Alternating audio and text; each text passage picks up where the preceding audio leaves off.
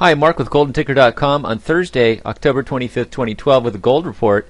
And this is a monthly chart of gold, and this is a very bullish chart in my opinion. Um, you can see the massive run we've had. This uh, chart goes back here to 2003. We've had this massive run. We've had a couple of corrections along the way.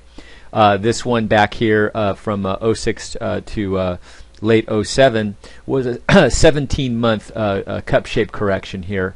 And then we had a 19 month correction. Uh, it went down 34% here in 19 months. And now we're in the 13th, mo- 13th month of this correction, a little over a year. And you can see that we came down and tested this green dotted line, which is the 20 month moving average, held really well there, formed a nice cup here, and, um, uh, and are now running up along the right side of the cup here and uh, you know, uh, for all uh, intents and purposes, looks like we're going to be challenging this 1923.70 uh, top here uh, within the next several months. So the long-term trend in gold is bullish and holding up well chart-wise. this 20-month moving average still climbing, you know, at around a 45 degree angle. Uh, same here with this longer term 40 month moving average, uh, which is almost a yearly moving average.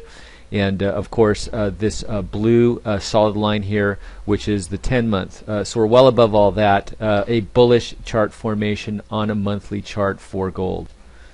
And moving on now to a uh, weekly chart of the gold, uh, we're seeing a handle being formed here. And uh, here is your cup and now uh, so far about a three week handle in place here. Uh, slicing through this blue line which is the 10 week moving average uh, not a great sign but uh, still a handle volume has not been uh, too uh, tremendous here in the handle which is a good sign so some consolidation going on in the gold right now in the GLD uh, we are still above these key moving averages uh, here, uh, the 20 week and the 40 week moving averages, which are incidentally right neck and neck here. So lots of support down here, uh, going through just a little bit of a, of a small give back here after forming a fairly nice shape cup here. Um, broke out of this sort of longer term downtrend pattern, which is a great sign. And uh, now going to probably go down and challenge these uh, down a couple more points on the GLD in my estimation. And uh, we'll see if we can fight a battle down here and hold.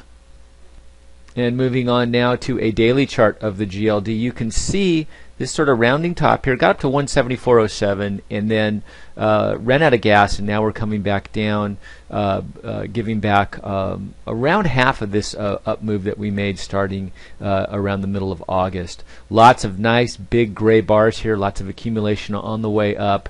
Um, and uh, a little bit of selling picking up as we slice through this 50-day moving average here.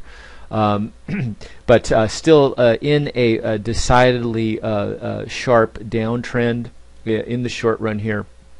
I'm looking for a breakout to the upside of this downward channel here. Uh, possibly uh, taking uh, out this 50-day moving average and closing above it for a couple of closes then I would say we might have a trend change here uh, in the short run. But uh, recapping on a monthly chart, we are definitely in a long-term uptrend in gold, uh, which I believe is going to take us much, much higher. Um, on the weekly chart, we have a cup with a handle forming and uh, on the daily chart you can see this handle still in a downtrend. We don't know how long uh, how low these will go. Uh, best to step aside if you're a short-term trader. Uh, we do have some heavy volume here. Uh, possibly this is some exhaustion. We'll have to wait and see. But uh, lots of support coming in here at your 100 and 200 day moving averages as well. So that's it for your gold report. Thanks for listening